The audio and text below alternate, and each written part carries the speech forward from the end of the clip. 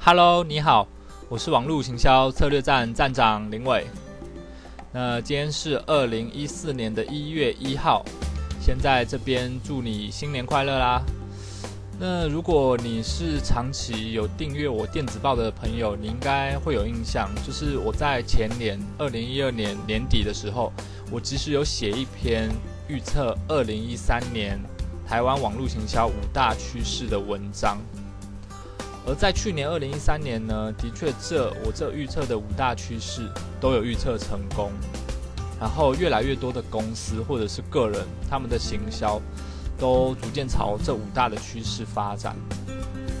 那今天啊，刚好是二零一四年今年的第一天，所以我想来预测一下二零一四年我们华人网络行销的趋势。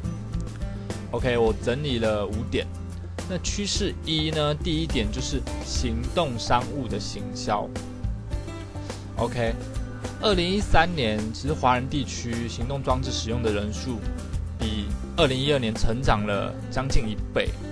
而且随着现在很多华人地区啊，像我们台湾或者是中国大陆，无线网络以及 WiFi 的普及，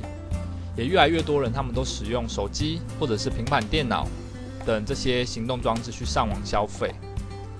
那例如上次，嗯，去年二零一三年十一月十一号光棍节，大陆的光棍节，大陆的淘宝网他们交易了当天三百五十亿。人民币的交易额当中，里面有五十三点五亿是来自手机消费，也就是大约七分之一。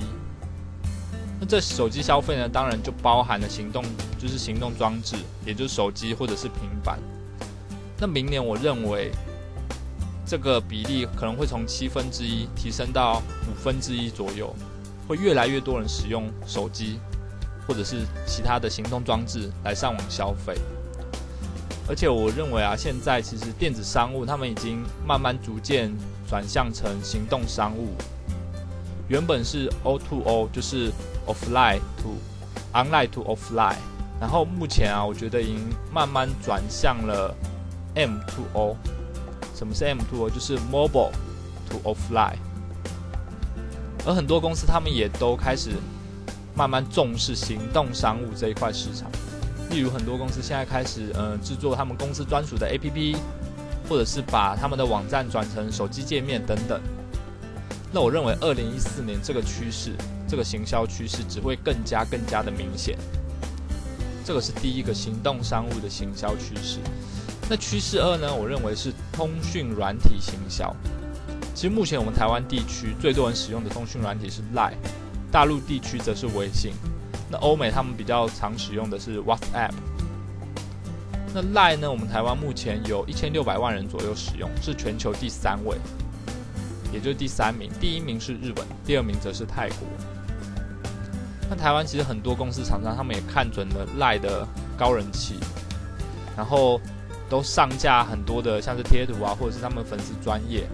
其实虽然上架贴图和粉丝专业在赖上面都需要花数十万，甚至是呃，百万以上的金额，但这些公司因为看准了这一块商机，所以他们都纷纷投入大量的资金，在赖赖上面去建立他们的专业啊，或者是建立他们的嗯粉丝他们的贴图相关的一些可爱贴图。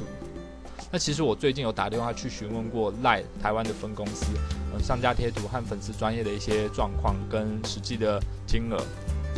目前你知道吗？你如果要上架贴图到赖上面，你要排队到明年六月之后。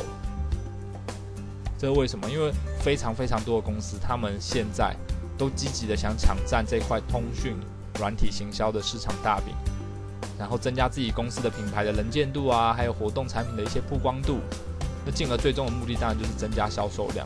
所以他们现在都抢着要在明年初之前上架贴图到赖上面，或者是在赖上面上他们的粉丝专业，就吸引人家去加入，然后吸引人家下载贴图。你可以。发送一些相关的产品活动的资讯给他们，所以我认为，其实二零一四年未来就是在今年，一定会有更多更多的公司，他们会在通讯软体上面做行销，而且甚至未来可能会有新的一些通讯软体加入战局。毕竟，我觉得其实通讯软体大家的忠诚度和粘着度并不会像社群平台那么高。OK，这个是第二点的趋势。那第三点趋势呢？其实我认为第三点就是社群串联的一个行销趋势。那其实 Facebook 上面社群行销现在已经很普遍，而且已经逐渐趋向成熟。而且 Facebook 官方啊，其实现在也设立了越来越多的一些付费广告的机制，甚至你发送讯息给不认识的朋友都需要付费，你才能发送到他的讯息栏，否则只会掉到他的其他的讯息内容里面。那其实 Google Plus 社群平台在二零一三年，他们的使用人口也大幅成长。虽然目前的整体的使用人口跟连着度还不像 Facebook 那么高，但是其实我很看好未来 Google Plus 的前景以及他们的一些成长。因为 Google Plus 社群平台其实它可以和 Google 周边的任何功能或者是任何的项目去做一个整合，而且 Google 他们使用 Google Plus 去整合他们其他功能，我觉得是一个势在必行的趋势。而且啊，我觉得，嗯，怎么讲？Google 他们的资源其实非常非常的丰富。光是你想得到的，像是 Google 的搜索引擎，或者是它的 Gmail 信箱，或者是它的地图，这些都是你平常日常生活中必用的功能，而且很难被取代。但是目前大部分的公司，他们其实都有只有在单一的社群上建立自己的品牌。例如，大部分的公司可能只有在 Facebook 建立他们的粉丝专业或者是社团。我认为未来二零一四年，社群行销并不像，并不会像，呃，二零一三年或二零一二年，只在单一社群平台上面做行销就够了，而是需要串联到各社群平台上面去同步去行销你的品牌、你的活动或者是你的产品，嗯，也就是类似一呼百应的方式，你只要 post 一篇文章，然后你就可以串联到各种不同的平台上面。你只要写一篇文章，你就可以串联到各种不同的社群平台，像是 Twitter 啊、You You YouTube 啊，也算是一个影音平台。然后还有 Facebook 啊、Google Plus 啊之类的，所以就可以让在各平台上面，就是你的粉丝专业，你都可以去建立，或者是建立你的社群、社团之类的。你写一篇文章就 push 到这些全部的社群平台上面，增加你的品牌能见度以及你。产品还有活动相关的一些曝光率，甚至最终的目的，当然当然就是要增加你的销售量。OK，那我认为在二零一四年这个状况，绝对会有更显著的成长，会有更多的一些公司，他们知道要用很多不同的社群平台来行销自己的品牌。OK，那趋势四呢，就是个人网站和伪网制的行销。其实，在上个月，就是二零一三年十二月底的时候，雅虎他们把无名小站给关闭了，很多原本在无名的一些超人气的部落客啊，纷纷出走，就像是弯弯，甚至以前很多部落客，他们都是利用无名，然后做网络行销，或者是在无名上面销售产品，所以他们从这次嗯无名关闭之后，他们搬家到其他部落客，其实花了不少的心力。而且虽然我觉得现在像是匹克邦啊，或者是天空啊、Google 的 Blog 啊这些部落格，可以让这些嗯部落客他们去驻足，让他们继续停留在就是使用这些免费的部落格去写文章，或者是去做一些行销。但是我认为这一次无名小站的关闭，其实无疑给这些很多的部落客一个警讯。这个警讯就是应该要有自己的网站。要有一个嗯自己百分之百能掌控，然后不会被关闭或者是停权的网站。为什么？否则你多年来累积的文章，或者是嗯 SEO 上面搜寻引擎的排名，可能一夕之间随着它的关闭，或者是你账号被停权就崩盘了。而我自己身边有些认识的一些嗯知名部落客，他们其实也都陆续开始架设自己的网站，或者是请一些公司帮他们架网站。所以我认为未来会有更多人。他们成立自己的网站，更多的部落客，他们成立自己的网站，使用自己申请的付费的网域，然后付费的虚拟主机，然后并且会有更多人学习去使用 WordPress 这个系统，然后去架设网站或者是部落格。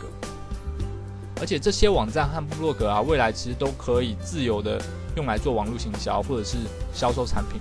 没有任何人或者公司他们有权利去关闭你的网站或者是停权你的账号。这个是非常非常重要的。我想未来这个趋势绝对会带动整个华人地区伪网制的行销的风潮，以及个人网站的行销风潮。OK，那那最后一点，第五点的趋势呢，我认为是互动为电影的影音行销。其实二零一三年的行销趋势预测当中，我就有谈到说，影音行销在未来一定是一个很大很大的重点。因为其实网络新媒体和传统的一些电视、报纸这些旧媒体有很大的差异，特别是在影音呈现这方面。而在二零一四年，互动微电影的行销，我认为会更加的盛行。而且我认为微电影的元素啊，其实会加入更多的感动或者是创意的点子进去，而且跟网友或者是粉丝他们互动的成分也会更高。这也就是传统的电视影片所做不到的。因为你在网络上，你可以透过网络去跟粉丝做互动，你可以在下面留言，或者是透过 YouTube，你可以让粉丝他们去选择他们想要的结局。而且最重要的是，感动行销和创意行销这两种方式是最容易让别人留下深刻印象的方式。而且我认为也会有越来越多的素人，他们透过拍摄创意或者是搞笑的一些影音。来行销，来建立自己的个人品牌，或者是嗯帮帮助公司建立他们的公司品牌、产品品牌，也会有越来越多的公司，他们会在 YouTube 建立自己公司的影音频道。我认为未来在二零一四年，就是今年这个影音行销的风潮只会更加更加的明显，甚至也会有更多的公司，他们愿意砸钱，然后去拍摄一些互动的微电影，来行销自己的公司产品。以及他们的网站。OK，那今年的第一天呢，就跟你分享，我认为今年二零一四年的行销，华人地区行销的五大趋势，希望会让你有所收获。OK，那我是网络行销策略站站长林伟，我们下一篇影片或者是文章再见哦，拜拜。